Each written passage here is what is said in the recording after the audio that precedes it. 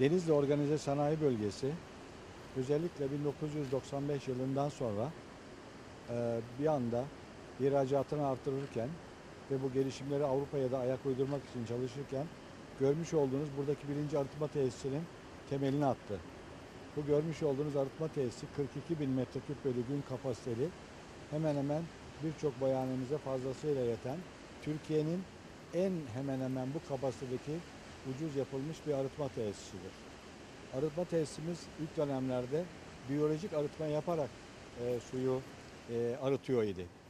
Daha sonraki günlerde e, arıtma tesisinin kapasitesi yeni boyanelerin ilavesiyle arttı ve bir miktarda kimyasal arıtmayla da bugünlere kadar geldik. Daha sonraki günlerde e, bize e, organize sanayi bölgesindeki boyahanelerimizin kapasitelerini arttırmak istemesi ve de yeni boyahanelerin de yapılmak istenmesiyle bir proje daha yapalım diye buraya yaklaşık yakın mesafede 26 dönüm bir arazi üzerine 30 bin metreküp bölü gün kapasiteli bir proje daha yaptık. Ve bu projeyi de yaparken yönetim kurulumuzun ve bütün ekibimizin çalışmalarıyla e, ayrıyetten Dünya Bankası'ndan da bir kredi almak istedik ikinci projemizle ilgili. Bu bağlamda bu projenin yanında organize sanayi bölgesi için 2,5 megawattlık da bir güneş enerji santralı da vardı. Şu anda Dünya Bankası bizim hem 2,5 megawattlık GES'imizi hem de bir sonraki 30 bin metreküplük arıtma projemizi onayladı. Önümüzdeki günlerde ikisinin de ihalesi var. Dolayısıyla bu arıtmadan sonra yeni bir arıtmaya kavuşuyoruz. Ve ürünü almaya başlayacak. E tabii ki biz de bu şartlarda bundan geri kalmak istemedik. Yönetimimiz bir ileri arıtma yaparak e, bu koşuda birinci olmak istedi. Biraz önce de ifade ettiğiniz gibi bu gördüğünüz sistemi arkadaşlar ileride yapacağımız, yaptıracağımız ileri arıtmanın bir prototipi olarak uygulamaya koydu. Ve bize gelen e, raporlar çok başarılı olduğunu gösteriyor bu prototipi. Siz de düşünür, düşünürsünüz ki, e, tahmin edersiniz ki böyle bir yatırım yapılabilir. 9,5-10 milyon euro gibi Sanayi Bakanlığı'ndan onaylı ileri arıtma projesi yapılıp çok da işe yaramayabilir diye korktuğumuz için bunu yaptık. Yönetimimiz bu konuda karar verdi.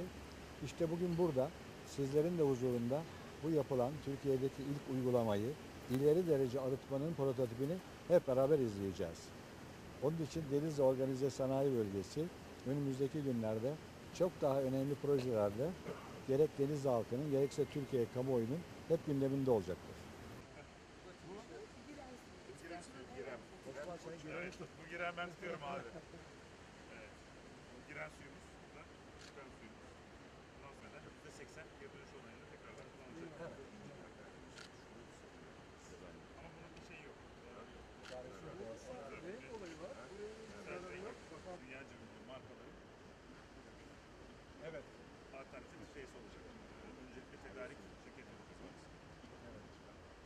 Cumhurbaşkanı